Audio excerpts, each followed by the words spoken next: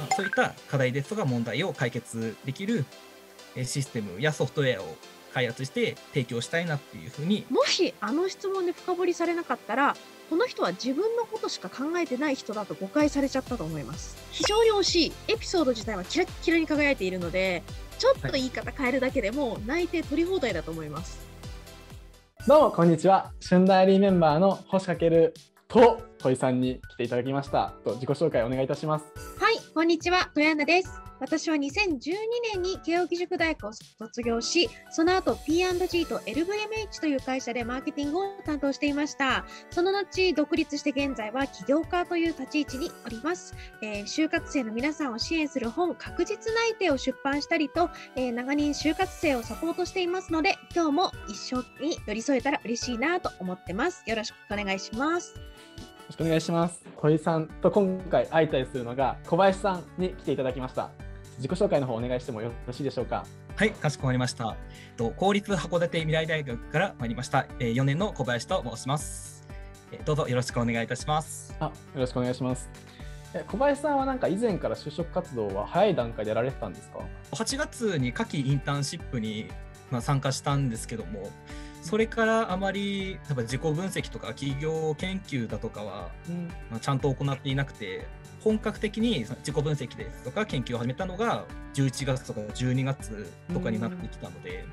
ちょっと遅くなってしまったなという部分でちょっと焦りは感じております。あいやでも早いですけどね 個人的には。すごいと思います。すごいと思います。えで現在は就職活動は順調なんですか？まあ、最近になってあの初めてあの一次面接を通過できた、うん。そそれまであの一次面接でずっと落とされてきたっていう部分があったので、まあ、もうすぐその二次面接があるんですけども初めての二次面接ということでちょっあと練習しておきたいなと思いましたので。ということはまだいまだ内定ゼロっていうところでこれから初めての第二次面接、もう僕も実際内定ゼロで実際一次面接通過してこれから二次面接が始まるというところなので僕も同じ気持ちで応援しております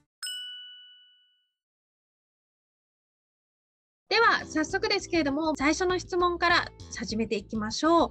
まず簡単に自己紹介お願いできますでしょうか？はい、かしこまりました。公立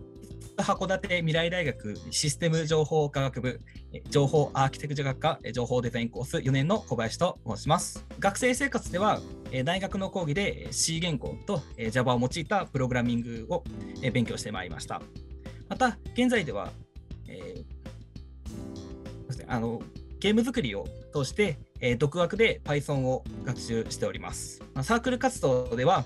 えーよさこいのサークルにえー入学当初から現在まで所属しております。えー本日はどうぞよろしくお願いいたします。はいありがとうございますちなみに学生時代力を入れたことはどんなことだったんでしょうか？と私がえー学生時代一番力を入れてきたことは、まあ先ほども申し上げたんですけども、よさこいのサークル活動です。長さが1.5メートルほどある旗を用いて踊る騎手を務めてまいりました。その騎手を用いて踊った年に大会で30チーム中3位という結果を残してチームに大きく貢献したという経験があります。私は騎手として重要なことは隊列の最前列で踊るためその1曲4分間あるんですけどもその4分間ずっと綺麗なパフォーマンスを維持し続けることが重要だというふうに考えました私はその騎手は未経験から始めてそのわずか2ヶ月後に開催されるあの大きな大会に向けて練習を開始しました、ま、しかしあの1ヶ月ほど練習したんですけどもまあ、その1曲の4分間を、まあ、キレのある踊りを維持し続けることが難しく、えそうですね。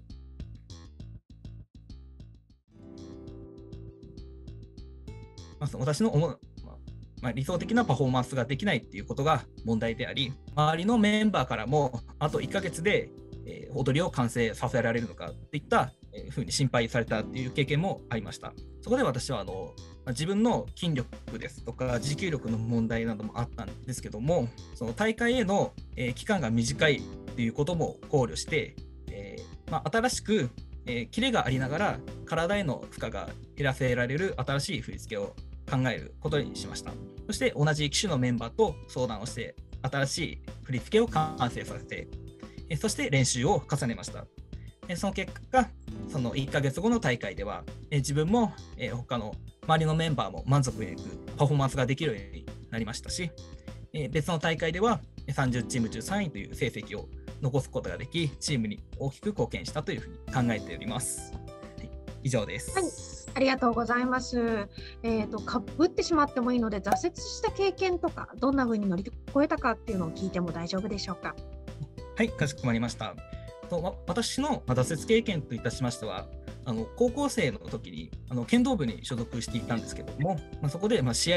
で全く勝ち上がれなくなったという経験です。私は剣道を小学校2年生から高校3年生までの11年間ずっと続けており、小学校時代では地元の大会で個人戦優勝などの経験もあったんですけども、中学、高校と上がるにつれて試合でも勝てなくなり、ま、高校時代では個人戦で1回戦も勝ち上がることができなかったという経験がありました。そこで、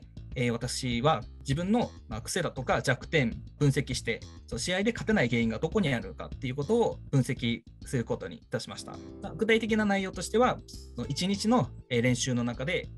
の反省点だとかをあのノートに書き記してえー、顧問の先生に提出してコメントをもらうっていったことで、まあ、自分とその顧問の先生両方の目線から、えー、自分の剣道を分析することで、えー、次の練習に生かすことで、え改善をしてきました。今まで個人戦1回戦も勝ち上がれなかったのが、えまあ、1回戦2回戦っていうふうに、え勝ち上がるまで成長することができました。以上になります。はい、ありがとうございます。えっ、ー、とそれからですね、就活どういった軸でされているか伺ってみてもいいでしょうか？私の就職活動の軸としては大きく2つございます。まず1つ目が、えー、チームワークを重視しており、仲間と共に切磋琢磨しながら結果を残せるといった仕事になります。そして2つ目が、ソフトウェアを通してお客様の課題や問題を解決してお客様に満足していただけるといった仕事というのを2つ目の軸としております。はい、以上になります。この軸の理由はちなみにどんなところから来てるんですか？はい、まず1つ目のチームワークを重視して仲間と共に切磋琢磨して結果を残すっていったものなんですけどもそのソフトウェアの開発っていうのは1人ではまやらずにあのチームで行っていくっていったものがま多いと思うんですけども、まあ、そのチームメンバー一人一人の得意不得意だとかはま人それぞれ、えありますので、え自分の得意な分野を、え例えば開発のプロジェクトだとかで、ま周りのメンバーをサポートしていくかですとか、周りの他のメンバーの不得意っていうのを、えー、どうやってカバーしていくかなどを考えて、まあ、共に開発をすることで、仲間と共に成長していけるっていった部分に私は魅力を感じておりますので、えー、まあ、そういったことを私は軸としております。えー、そして、まあ、2つ目の軸軸として、えー、まあ、ソフトウェアを用いて、えお客様の課題を解決するといった仕事なんですけども考えるようになったきっかけっていうのがあのフードコートでのアルバイトが元になっているんですけども、まあ、私はあのまあ、例えばレジ締めの作業が、まあ、とても時間がかかっており、えー、まあ、帰るのが遅くなってしまったという経験が何度もあるので、えー、もっと簡単にレジ締めができるようなシステムがあったらいいなっていうふうに考えたりですとか。あとはお客様から注文を受けた際材料の在庫が足りずに商品を提供できなかったといった経験がありましたので一目で商品あの在庫を管理できるようなシステムがあったらいいなっていうふうにそう感じておりました。その私以外にもそういった悩みを持つ方っていうのはたくさんいらっしゃると思うので、まあ、そういった課題ですとか問題を解決できるシステムやソフトウェアを開発して提供したいなっていうふうに考えております。以上です。はい、ありがとうございます。えっ、ー、と今ですね、あの就活の軸がチームワークをしたいっていうふうにおっしゃられてたんですけれども将来のビジョンとしてはどんなふうにチームで働いていきたいですか、まあ、入社してからは、まあ、プログラミングで、まあ、そうですね。あの開発の中でプログラミングを学んでプログラミングスキルを身につけたりあとは顧客からのヒアリングなどで、まあ、要件を定義するといったさまざ、まな工程があるまあ、経験すると思うんですけども、えーその経験を生かして、まあ、プロジェクトでは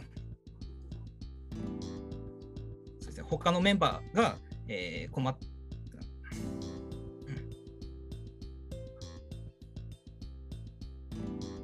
少々教えていただいてよろしいですか？もちろん大丈夫です。焦らないでください。はい。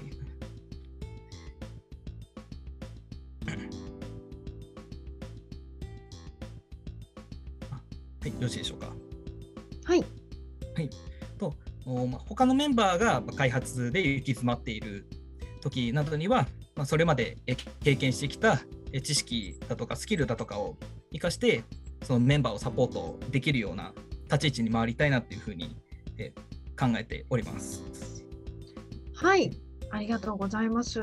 追加で1点お伺いしたいんですけれども、今、まあ、チームワークで比較的他の方をサポートしたいっていうふうにおっしゃられてたんですけど、いえーとチームで他の方をサポートしたような経験はありますでしょうか？と私がですね、まあ、そのチームメンバーをサポートしたっていう経験なんですけども、その大学でですね、あのプロジェクト学習というカリキュラムがありまして、その3年時に1年間かけて1つの研究のテーマに沿って、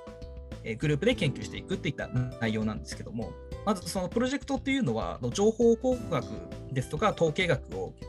えメインに使用するプロジェクトになっているんですけども、ま私以外は、まあ、そういった情報工学とかを学んできたので、分野は得意であるんですけども、私だけ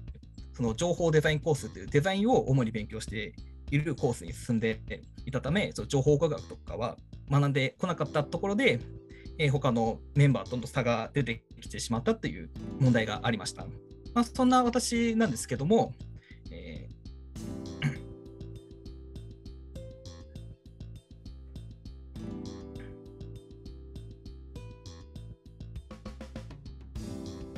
はい、よろしいでしょうか。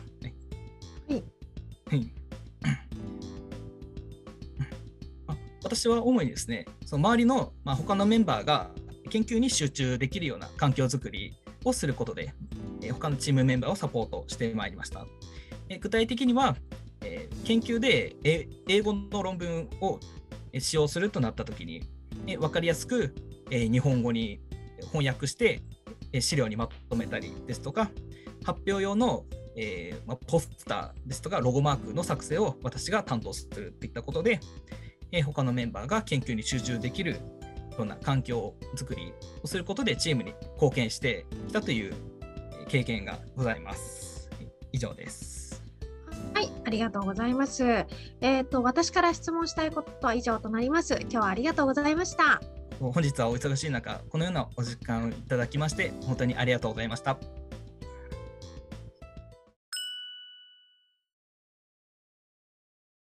小林さん、なんかだいぶ緊張されてたと思うんですけれども、なんか手応えとかはいかがでしたか？そうですね、ちょっと、まあ、途中、詰まったり、ちょっとあ焦った部分があって、うん。動揺してたので、全部話したいことを、まあ、伝えきれたかなっていう部分はあるんですけども、まあ、とりあえず全力は尽くせたかなというふうに考えております。ちなみにあの合否の方を今度鳥さんに発表していただくんですけれども自分の中ですと合否どちらでしょうか？ギリギリバツかなみたいな。ギリギリ×というところで、はい。ちなみに何が足りなかった？ちょっと話が長くなってしまったかなっていう部分と、自分の伝えたいことがちゃんと伝わっていたかなっていう不安があるので、その部分で評価が下がってしまったかなというふうに感じております。ありがとうございます。じゃあそうしました。らちょっと鳥さんの本当の評価というところをお聞きしたいと思いますので鳥さんちょっと合意発表の方お願いいたします。はい、手でサインを出したいと思います。はい手でお願いします、えー小林さんは、2つかな？今回一番惜しかったのは、が学生時代に力を入れたことや挫折体験になかったことなんです。ちょっと言い方変えるだけでも内定取り放題だと思います。